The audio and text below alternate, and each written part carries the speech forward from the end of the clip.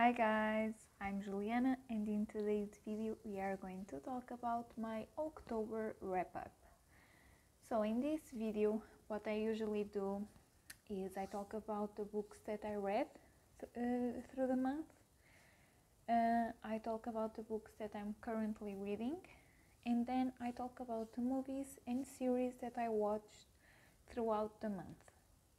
So beginning with the books that I read, I have videos for all of them.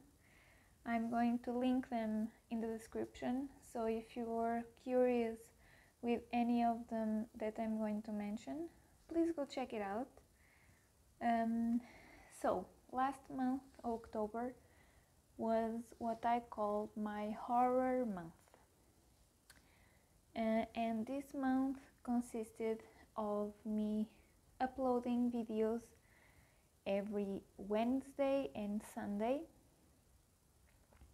of or short stories or books about the, the genre of horror. Horror, mystery, death, gothic, so everything related to Halloween, to this ambience and this genre, this type of genre. I also thrillers, although I didn't read any of those. Um, I gathered them, I chose, um, and I uploaded a video every Wednesday and every Sunday. An exception of the last weekend of October, uh, so 30 30 of October that I didn't upload because I wasn't I didn't have internet in my house so that was unfortunate um, and also I begin this year already I begin a tradition what I wanted to be a tradition of uploading 31 uh, 31st I mean, of October, so the day of Halloween, a special video. So it doesn't have to be on a Wednesday or on a Sunday, right? It's whenever it is the 31st. And I want to choose books that talk about books or talk about the genre or talk about the authors or the inspiration of authors or the a biography of a, an author that writes about the genre. So everything related to um, the genre in itself. I uploaded also a video on that day, or not that day, was supposed to be on that day because I didn't, as I've said, I didn't have internet in my house, and also uh, I took a bit longer to finish that book. But okay, beginning with the first short story that I uploaded. So, I read The Black Cat by Edgar Allan Poe. This was a short story that I loved. I think it was so unexpected, I would say. I heard a lot of things about Edgar Allan Poe, uh, but I never have read any anything by him, and I was surprised. It was um, a really short story, so a really few pages, but with such a punch. It was incredible. Like it was macabre. It was creepy. Creepy, yeah, in a way. It's but it was so you know it's so tragic but you go you read you read it full and you arrive at the end and it's so satisfying. The ending i mean. And yeah i loved it. Well then i read carmilla by sheridan le fanu this is a short book so it's like 100 pages or so. Uh, and this book is about a vampire. and this book is uh, was published earlier I think about 10 years earlier 10 to 20 now I don't remember earlier than Dracula by Bram Stoker that I read as well not this year I mean but I already have read Dracula and I was curious about Carmilla because I heard a lot of things like it was an inspiration to Dracula, um, that it was the beginning of the vampire mythology, that was through this book that uh, came the inspiration to many other books that come, came after the, this one. So I was really curious and I liked it but it wasn't outstanding.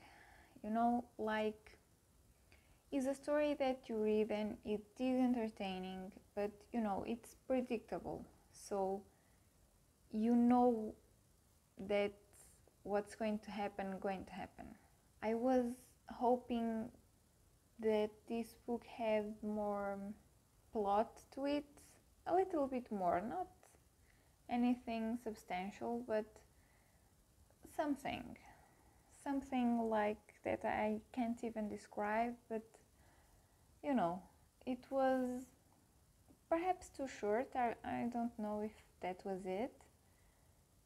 But you know was really entertaining. I really for the first or one of the first at least books about vampires I think that it was really interesting. So for I I'm thinking about the people that read read this at the time.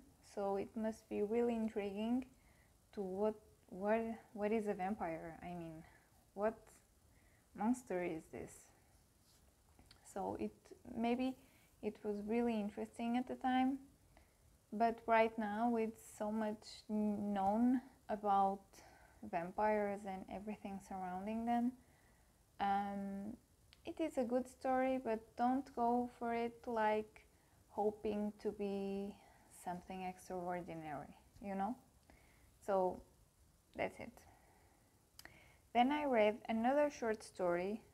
I read The Horla by Guy de Maupassant. So The Horla was a short story that I really, really, really enjoyed because this short story is written in, like entries in a diary. So our protagonist is, oh, we are reading our protagonist's right, uh, diary, uh, and he begins with a fever and nightmares, and he ends up like in madness. So it's a voyage of a few months. I think it's like nine months or so. And it's it's something. I mean, he goes through hell um, because he doesn't know exactly what is happening to him, and and he's trying to um, fight this being that is there with him but he doesn't see him. And he ends up committing a crime. And it's like because he was so distracted and so obsessed with what was going on that he didn't even remember to think in other people. He was only thinking on him in himself. And so you know that's a vortex that he went on and he simply forgot. So, I, of course, I'm not going to say exactly what happened because you have to read it to know, but trust me, you will love it. Then I read The Turn of the Screw by Henry James. So, this one I didn't like it so much. So, this is a short book also like 100 100 and something pages. And it was a bit boring for me because I thought that this has a lot of fillers, although it is so short, but uh, even though it's short, um, I thought that the book had, you know, dragged. It had dragged a lot. And I wanted to know what was going to happen next, and he would describe scenes and deviate from the main plot, and I, I don't like that. I really don't like that. When I see that is is going nowhere, and it's not going to add anything to the story with that, those descriptions or um, um, mentioning uh, secondary characters, I don't like that. And I didn't enjoy this one so much. So there you go. Then I read another short story called The Canterville Ghost by Oscar Wilde. I loved this short story. So funny. So I know this was the month of Halloween and I know this uh, this was the horror month, but I mean comedy is part of everything. And I think it's so important for us to laugh no matter what. So, and I never, well, I'm lying. I was going to say that I never have read nothing from Oscar Wilde or anything from Oscar Wilde, but I did. I read the picture of Dorian Gray and I really loved it. That was the only book that I read from the author. But well, I read this short story and it's oh my it's so funny the way that he so he changes the way that we look at haunted houses and what it means to be haunted because the people that were lo- were looking for a haunted house so normally people run from them but this family was looking for one. So he changes our perspective about the word hunted and how if perhaps the word hunted or the meaning hunted is only in our heads and as everything right? And i think that he does a brilliant job to deconstruct this idea and these fears and yeah these fears that some some people feel about certain things um, and he, he, he constructs a beautiful story with comedy in it that warms your heart. And i really advise you to go and read it you will have a wonderful time. And it's also short so you don't going to pass a lot of time reading it. So and it's really really really funny. Go read it. Then i read the great god pan by arthur machen.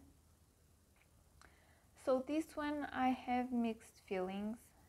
Mm, i think i liked it I mean, I thought it was interesting, but it's um, a more like of a weird story because I think this is considered a classic of horror, um, or at least a book that is admired by many and considered an inspiration for so many. And this is a type of story that you have to read between the lines and if you miss a detail, you perhaps missed a point of what is going to happen a few pages later. So you really have to pay attention with this one. The point is in the details. So pay uh, close attention to it. Then I read another short story called The Temple by H.P. Lovecraft. So this was my first. Um, oh, I don't have the book with me. I read it in in a compilation of short stories. It's right there. Let me grab it. So here it is. This is a compilation of short stories by H.P. Lovecraft. Uh, and then this is volume 2 because I bought this in second hand and this was the only one I think if I'm not mistaken that was available so I bought it because I was having trouble reading it in English I think that the type of language and complexity that H.P. Lovecraft uh, uses is too high for me, so I was having trouble. So I had to buy a, uh, edi- a Portuguese edition so I could read it in Portuguese, so I could understand it better. So this one was really interesting. I also really enjoyed this is a voyage to the unknown, to new, new, new worlds, and the human curiosity. How, even in the face of death, we choose curiosity. So was really interesting. I think you will will enjoy reading it. And this was my first incursion in Lovecraft, and I'm considering uh, read more from this author. I heard and I saw many people talking about him, so I want to read more from him as well. Then I read The Phantom of the Opera. This was my uh, October book from the challenge 12 books for 12 months. Um, and I really enjoyed this one. This is considered a gothic book, so it was a good surprise to um, see how different this story is from the movie that I saw a few years ago. I think 2007 I think the movie I saw was from 2007.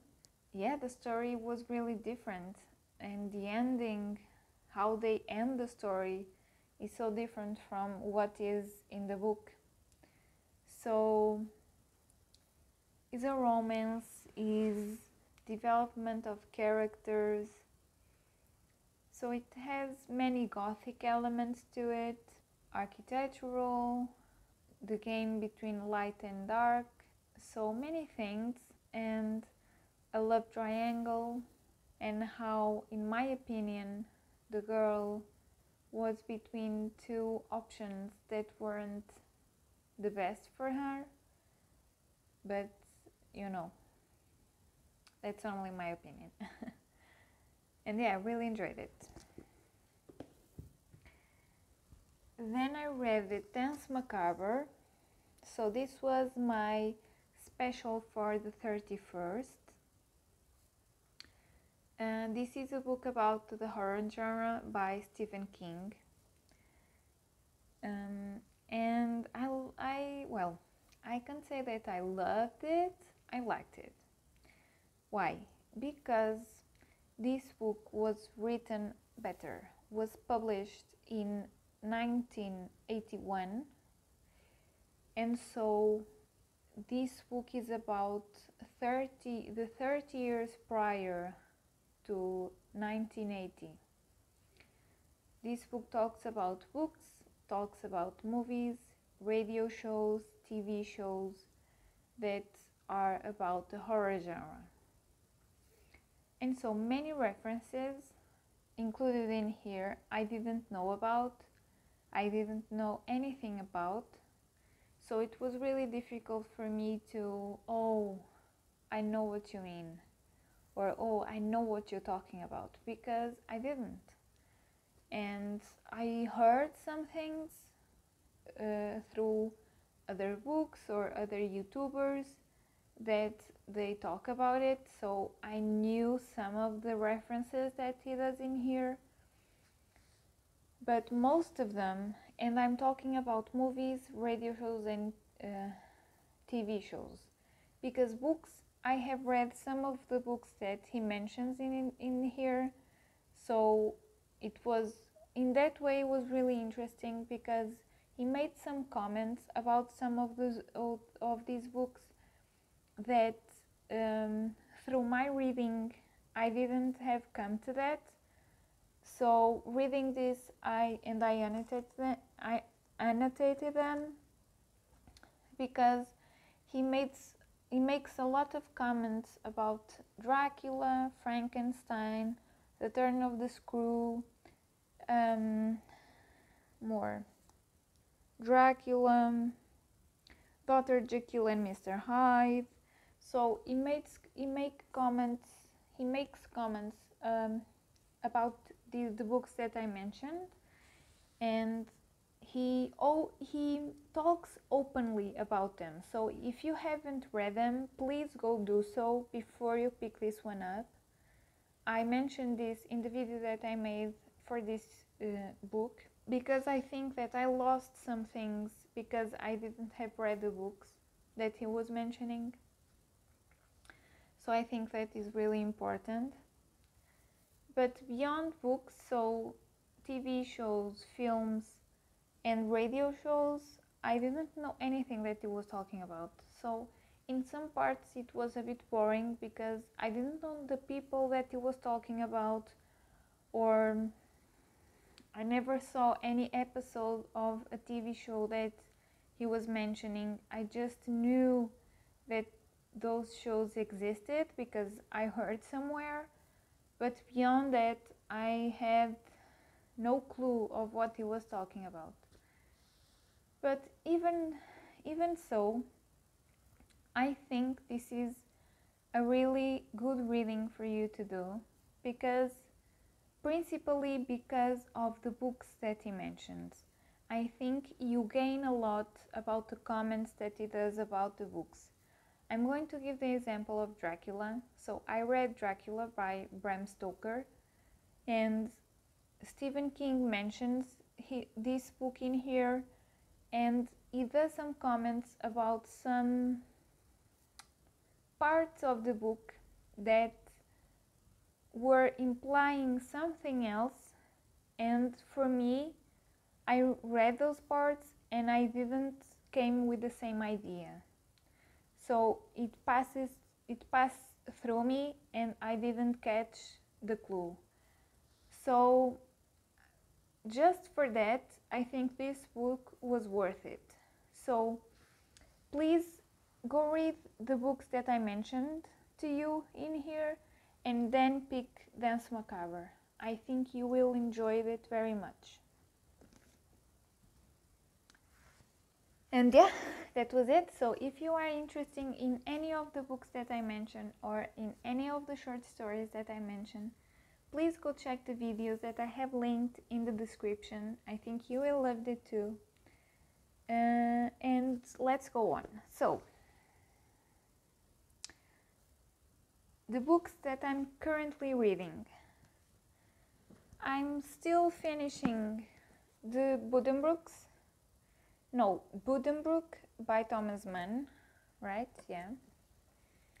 Uh, I'm loving it. I'm not going to extend a lot about this one because I already mentioned it in other videos and you know my feelings about this book, so I'm not going to elongate. I'm just going to say that I'm loving it. I'm still reading it, so you you will have to wait to see the video about this book. And then I'm reading What I Talk About When I Talk About Running by Haruki Murakami. This is a memoir in a way from Murakami.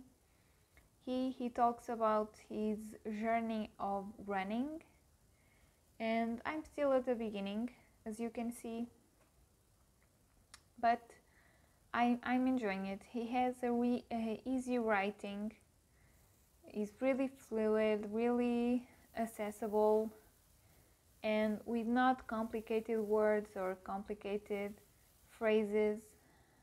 Um, well, not complicated words, not so much, because I have to research about a meaning of a word in here for now. So let's see how that goes. But you know, that's good for us to um, develop our vocabulary, right? And increase our um, knowledge of vocab. So that's always good. And yeah, I'm really liking it. I'm. Uh, this is my July book for the 12 books of 12 months, if I'm not mistaken.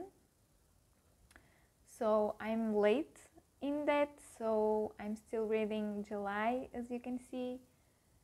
So later I will do a video about this book as well. Then about movies. So I saw The Black Phone.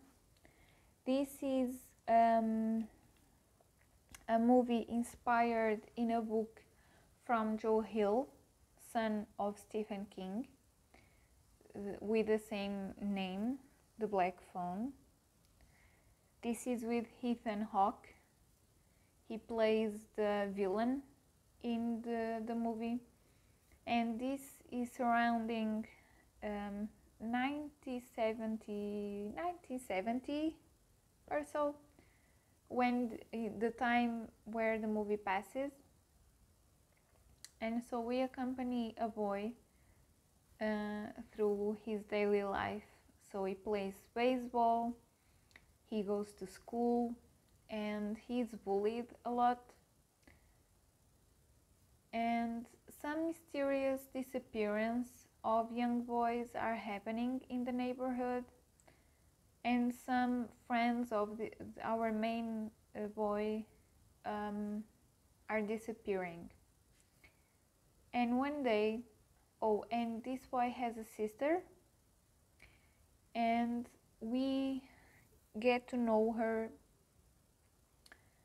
that she has dreams where she, in a way, predicts some things that are going to happen. Uh, uh, the police wanted to talk to her because she predicted well she predicted that in a crime scene was going to be black balloons in one of the disappearances the police found black balloons. So they wanted to talk to her to see in what ways was the involvement. But so our boy one day uh, goes on, on the street and a man lets go of a package that he had in his hands and he breaks some eggs and such and he says to him that he is a, a magician and he asks that the our boy wants to see a magic trick. And he says yes and our boy peeks through the van of this man and he sees black balloons. And he asks are these black balloons? And the man opens his van takes the balloons out and grabs our boy and gets him into the van. So you know. Then we have him in a basement with a mattress only a mattress and in the corner uh, bathroom with a toilet. And then he stays there and the man goes to see him with a mask on his face so we can see his face and then we have there a phone uh, old old not old old for us now but at the time it was a normal phone. That is a wall phone. Uh, and our boy tries to um, I don't remember the name of the boy I'm sorry. Finney yeah Finney uh, tries to see if the phone works but the but the cord of the phone is um, broken so no hope there But hours go by and he starts to hear the phone ringing and he doesn't understand why. And he goes to pick it up and a voice starts to talk to him. And then we understand that the voices that he hears are voices of other boys that were there, so other boys that were kidnapped by this man. And these boys try to help Finney to get away from this basement. And so we have a development after this where Finney tries everything to get out of the basement. Um, and we have his sister, the one that had dreams, trying to help the case as well. Because she tries to dream where her brother is, but she doesn't have so much luck in that. But she gets some clues that will be really helpful for the police. And so I'm not going to say anything more. I think that if I say more, I'm going to spoil the movie. So I'm going to stay here. But please go watch it. It's a really fun, fun, well, entertaining, you know?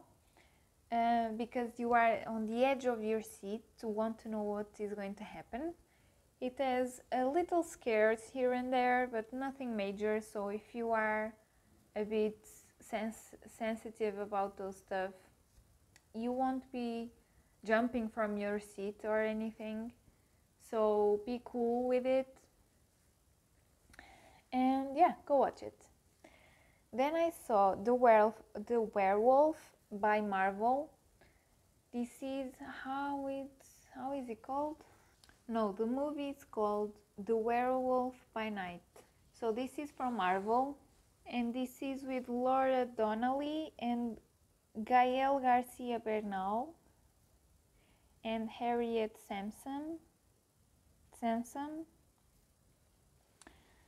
And so this is a story about so hunters that hunt monsters and we have the um, the president of those hunters dying. And this president has a powers stone or a stone with powers, longevity, um, vitality, uh, and so on. So the movie is all in black and white except for the stone that is red. And we have these hunters being invited to the funeral of their president. This president has a daughter, but this daughter is estranged from the father because she was the natural successor successor I think it is from her father but as she was estranged she lost her right and these hunters will be on a challenge where they will hunt a monster that has the stone. The first to get to the stone will be the new president of the hunters and will have the stone with powers. And so our main character is the character of Gael Garcia Bernal. I'm not going to say anything more. I don't think that I should because this is a short movie. Um, so it's like 40 minutes or something. So it will end really fast. You won't be dwelling on the movie. Um, so I think if I say more, I'm going to spoil the thing, so I don't want to. I think the information that I gave you is enough. I just only want to say that it was a really interesting twist to the story of a werewolf, in a way. Not so much different, but I think the um,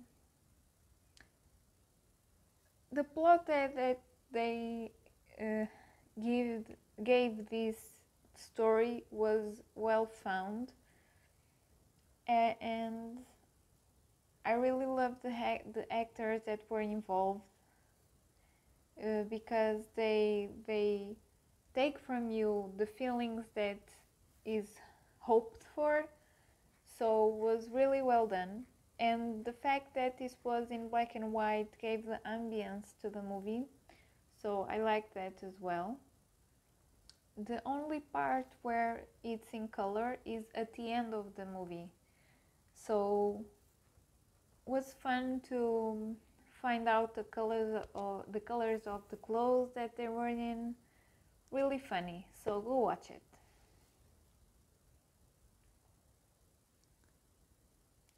Then i saw the woman in the window.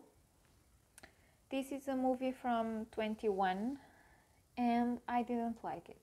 I'm sorry but i know this is inspired in a book uh, but I heard mixed thoughts about the book as well.